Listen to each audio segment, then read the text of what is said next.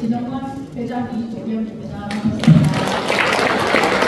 제가 한영 그 책자에 있으니까 이거를 한번 읽어보시면 좋겠고요. 그래서 시간을 우리 이경영 회장님께서 단축을 하셨으니까 저도 단축하기 위해서 간단하게 그냥 말씀드리겠습니다.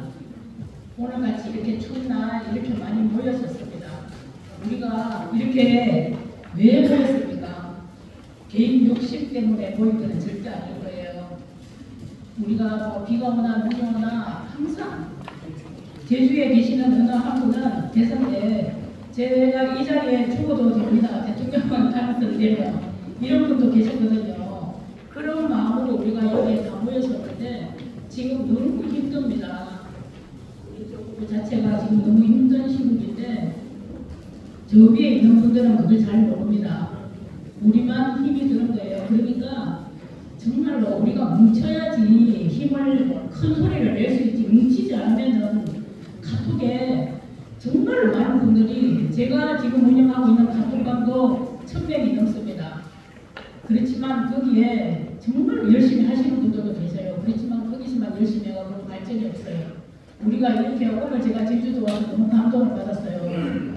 제주도 조건 시에서 이렇게 많은 분들이 이 추운 날 이것도 아니고 밤에 이렇게 모여주셨는데 왜 모였는지 그걸 한번 생각해 주시고 정말로 있잖아요. 내년에 좋은 일들이 많이 좀 벌어졌으면 좋겠고 아, 제가 막 정말로 있잖아요. 너무 할 말도 많고 이 출범식 때마다 한영사를 하다 보니까 형식적인 뭐 이게 이거 아니냐 이런 생각도 들고 그래서 제가 오늘은 한영사 책자에 있는 거는 한번 읽어보시면 좋겠고 정말 우리가 지금 현재도 우리가 우리 대한민국을 흔- 흔들고 있잖아요.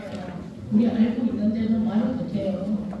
그래서 정말 우리가 이 정부, 국회의원, 여의도만 가면 사람들이 착한 사람이 바뀌어요. 바뀌어요. 그게 국회의원, 뭐 하여튼 국회의사당이 딸이 어떻는지는 모르겠지만 거기만 들어가면 다 바뀌기 때문에 우리가 그분들 마음을 좀 변하게 할 수 있게 하는 우리가 뭉쳐서 힘을 크게 만드는. 그래서 저는 제주도에 제주도 이 좁은 시에서 단계가 되지 않으면 아무것도 못하, 못합니다. 희생이라는 건 어느 누구나 다 희생을 하라 하면 싫어해요. 그런데 봉사를 해라 하면 너무 잘하시거든요. 희생이나 봉사는 하시고 똑같은데 정말로 이 누군가의 희생이 지금 우리 대한민국을 만들었고 그런 분들의 희생이 없으면 지금, 지금 우리 현재 여기 앉아 있을 수도 없습니다.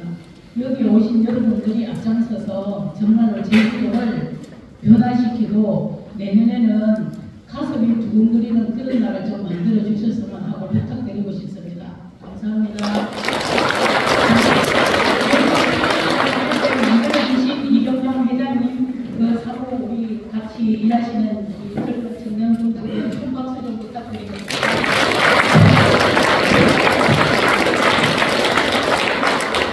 그. 네.